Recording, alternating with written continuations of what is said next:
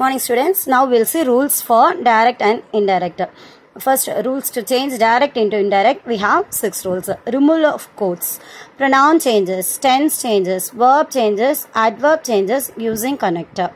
Okay, removal of quotes, pronoun changes, tense changes, verb changes, adverb changes using connector.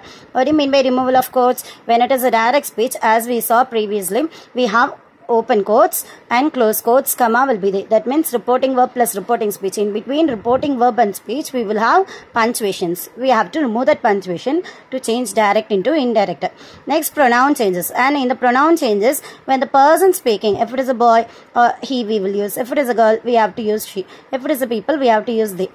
According to the people changes we are changing the pronoun changes right? When they speak they will use direct words. When we are changing into indirect we have to use he or she or it then next tense changes. Tense changes as we saw when the present tense we are changing into past. If they are given in past we will use past participle. Then the next verb changes. When the verb changes after subject we will getting a verb. The tense changes is almost same to the verb changes only right? When we change the present verb into past automatically we are getting a tense changes and verb changes. Next adverbial changes. Adverbial changes means here will change into that this will change into that here mm, now will change into then. So these adverb changes yesterday will be changing into the previous day. Then this adverb changes also is applied. It's not compulsory in all the sentences. Some sentences it will be there. Where it is there that we have to use Next, we are coming to using of connectors. When we use the connectors, we are not directly using the connectors. When we remove the quotes from the reporting verb to the reporting speech, when we connect and write it as a single sentence in the indirect speech, we are using the connectors. To use the connectors, we have to know about the kinds of sentences. Kinds of sentences is very important. So, basic kinds of sentences, we have declarative, imperative, interrogative, exclamatory. We have four basic kinds of sentences, right? So, in the declarative sentence, what what do you mean by declarative sentence? Subject near verb will come. I play cricket. I danced well. I moved.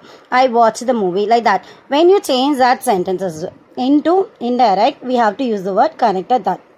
So for declarative, what we are using? We are using that. Then imperative sentence. Imperative means what? Order or request is called imperative sentence. Okay. So what do you mean by order? Be quiet, don't talk, shut up. Uh, request means please we will use. Here, very easy to identify imperative sentence because in open quotes, verb will be first, not subject. So that type of sentences, imperative sentence means we have to use to or not to. When the sentence is in positive, we will use to. Example, teacher says to pay the fees now, we will use to pay the fees. When the mother is telling don't touch the fire, instead of don't, we will use not to touch the fire. So imperative connector is to and not to.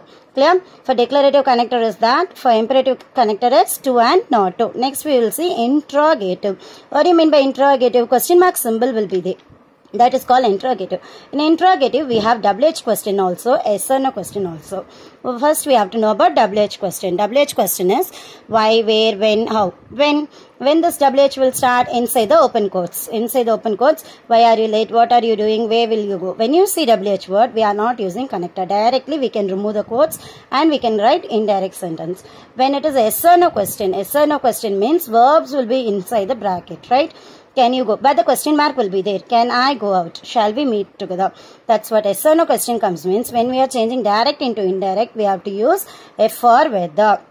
Okay, whether W-H-E-T-H-V-R. We have another one whether W-E-A-T-H-E-R that speaks about the climate. We have to use W-H-E-T-H-E-R only. Next we will see about exclamatory sentences. Exclamatory sentence means exclamatory symbol will be there. Getting a shock, wow, hooray, alas, happy, all these words will be there.